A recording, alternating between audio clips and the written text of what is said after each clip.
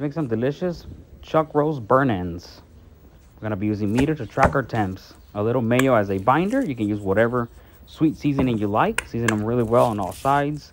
These weigh around three and a half pounds each. We're going to be smoking these over apple wood at 250 degrees. We're going to be smoking them until they reach an internal of 175. You want to pull them off, slice into them.